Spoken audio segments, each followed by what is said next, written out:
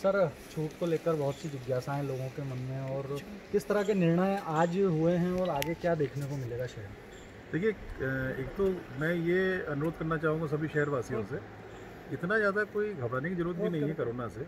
अस्सी percent patients को तो पता भी नहीं चलता है या घर में रह ठीक हो जाते हैं प्रॉपर छोटे मेडिकेशन से।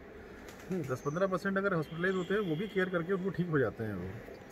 उसे प्रिकॉशंस लेने पड़ते हैं उसमें कोई और अभी जो किया गया है ये ज़रूरी है ये। 24 घंटे तक कल एक बजे से हम लोगों सख्ती शुरू की थी। अभी एक बजे तक हमारी 24 घंटे पूरे हो जाएँगे। 24 घंटे शहर को सैनिटाइज करने के लिए ज़रूरी था। जहाँ भी कोरोना वायरस बाहर है कहीं भी जिन लोगों के अंदर है बॉडी में है वो तो ठीक है रहेगा वो। धीरे धीरे अधिकार अधिकांश जगह ठीक हो जाएगा बाकी को हम लोग क्योर करके ठीक करा देंगे। पर जो बाहर कहीं भी था क्योंकि जनता बहुत मूव कर रही थी पूरे शहर में इसलिए ज़रूरी था कि 24 घंटे के अंदर कोरोना वायरस की जो भी स्टडीज़ हुई है 24 घंटे के अंदर हर तरह का कोरोना वायरस कहीं पड़ा हुआ है तो डेड हो जाता है वो। पर उस 24 घंटे के अंदर किसी भी शरीर के संपर्क में आता है वो तो एक्टिवेट होकर उसको प्रभावित कर देता है। इसलिए सब तरह की रोक लगाई गई थी ये। केवल दूध को रिलैक्सेशन हम लोग देंगे, क्योंकि वो हम लोग भी जानते हैं कि उसमें तकलीफ़ हो रही है लोगों को। और आज शाम को पाँच से सात बजे का रिलैक्सेशन है। कल सुबह भी हम लोग तीन घंटे का देंगे। उसमें हम लोगों की सांची से बात हो गई है। सांची को हम लोग पास इशू कर रहे हैं। और जो भी लोग गाड़ियों में या कंटेनर्स में दूध लेके आते हैं, पुलिस को निर्देश रहेंगे मजिस्ट्रेट को निर्देश रहेंगे कि उनको ना रोका जाए उनको। तो दूध की सप्लाई शुरू हो जाएगी। अभी बाकी सप्लाई कब शुरू करनी है? थोड़ा जैसे कल सात पेशेंट पॉजिटिव आए हैं।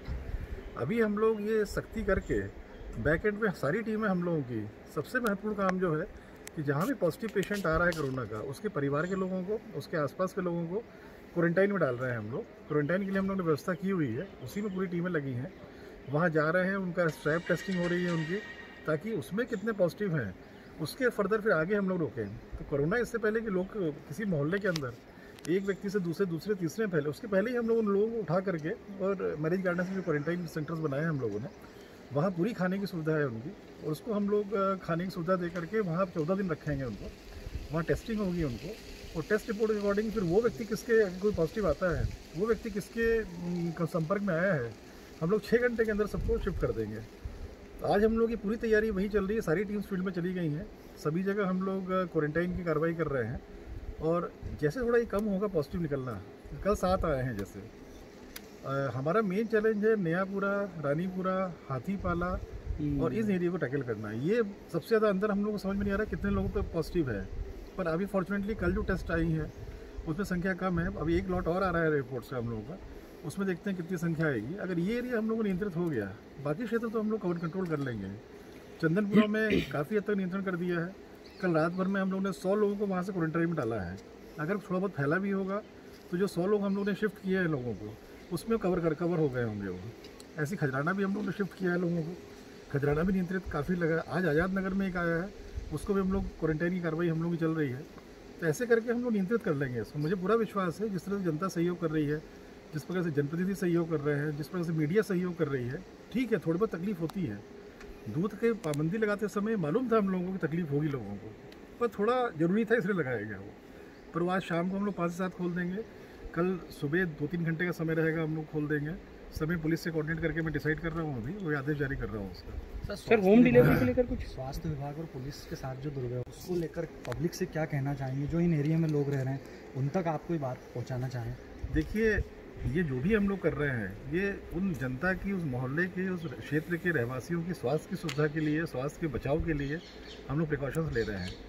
ये अगर ऐसा जो कल हुआ घटना अत्यंत गलत थी वो तो अगर ऐसा होगा तो स्वास्थ्य कर्मचारियों की पुलिस की और ये हमारे जो कर्मचारी अधिकारी रेवन्यू के लगे हैं इनकी सुरक्षा प्राथमिक ज़िम्मेदारी है हम लोगों की। इनका दुर्व्यवहार होगा डेफिनेटली हम लोग एफ़ आई आर रजिस्टर करेंगे। सर होम डिलीवरी को लेकर कोई प्लान इस पर तैयार किया? हम लोगों का किराने का और पके हुए खाने का होम डिलीवरी व्यवस्था आज भी स्टेब्लिश हो जाएगी हम लोगों की। पर हर किसी को नहीं देंगे। सब लोगों ने किराना रखा हुआ है। जी।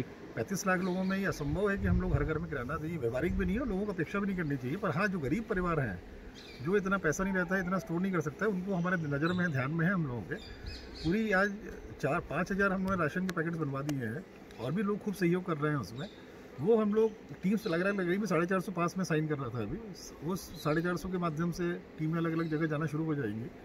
पके हुए भोजन के लिए नगर निगम को भी ज़िम्मेदारी दी है कि उसमें दस बीस हज़ार डेली पकैप बनाएँगे। जहाँ भी लोग, जैसे कई जगह बाहर के लोग लेबर भी आ रही है या कोई गरीब बस्ती है ज़रूरत है तो वहाँ उनसे बंटवा देंगे।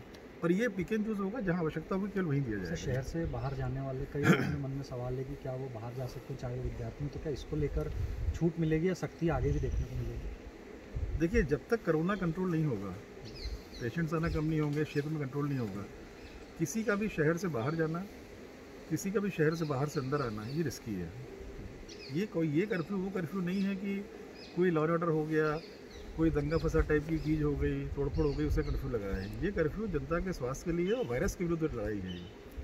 और वायरस से भी इतनी डरने की ज़रूरत नहीं है। हम लोग रोज़ मेडिकल ऑफ़िस में बैठ रहे हैं, हम लोग जा रहे हैं, देख रहे हैं। और डॉक्टर से डिस्कस कर रहे हैं एक्सपर्ट से डिस्कस हो रहा है। अस्सी परसेंट तो ऐसे ठीक हो जाते हैं।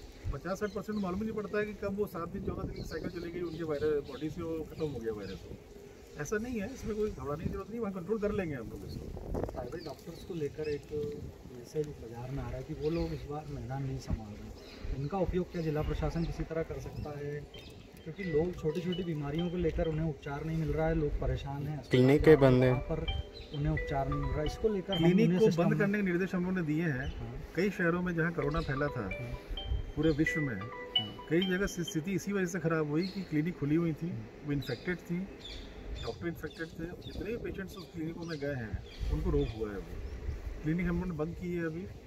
वो डॉक्टर से हम, मैं इस आप लोग माध्यम से आह्वान कर सकता हूँ कि जो भी अस्पताल से संलग्न है वो लोग, अगर कहीं आवश्यकता पड़ती किसी अस्पताल को, सारे निजी अस्पताल वाले सहयोग कर रहे हैं इस समय। उनकी एक ही मांग थी, पीपी किट्स जो, पीपी किट्स भी हम लोग बना के दे रहे हैं उनको। वो दे रहे हैं, उनको सब सुविधाएँ और जिस सुरक्षा का पूरा ध्यान रख रहे हैं हम लोग। तो जो भी ऐसे डॉक्टर्स हैं, वो किसी अस्पताल में जाके अपनी सेवाएँ दे सकते हैं, बशर्ते पूरी सुरक्षा के साथ में, पीपी किट रहे, सुरक्षा के साथ जाके दे सकते हैं। हम लोग तीन वर्गीकरण कर रहे हैं, आज आदेश जारी कर रहे हैं। उसमें शहर के अधिकांश अस्पताल हमारे ग्रीन कैटेगरी में रहेंगे, जिसमें कि कोरोना के सिम्टम्स के पेशेंट्स वहाँ एंट्री नहीं रहेगी, उनको येलो अस्पताल में जाना पड़ेगा। येलो अस्पताल सात आठ हम लोग कर रहे हैं, एक महू में कर रहे हैं, जो भी सर्दी सर्दी खांसी ठीक है, उसमें चूँकि डर बैठ जाता है लोगों में, ज़रूरी नहीं सर्दी खांसी ठीक है तो अपना कोरोना का कोई वायरस हो ही उनको, पर चूँकि डर बैठ जाता है, इसलिए उसमें येलो में जाएँगे। और अरविंदो आज से चालू कर रहे हैं कोविड पेशेंट्स हम लोग शिफ्ट भी कर रहे हैं। अरविंदो और एमआरटीपी जो है हमारा एम कैंपस में, यहाँ कोविड के पॉजिटिव पेशेंट्स रहेंगे इसमें। तो ये व्यवस्था ऐसा लागू कर रहे हैं हम लोग जो येलो पे येलो वाले जो अस्पताल हैं उसमें हम लोग किट्स भी पहुँचा रहे हैं अभी। पी पी किट्स पहुँच जाएँगे अभी। तो प्राइवेट नर्स जो क्लिनिक्स हैं उनको तो बंद रखना बहुत ज़रूरी है इस समय। बहुत बहुत शुक्रिया सर। गार्डन वाले भी लेकिन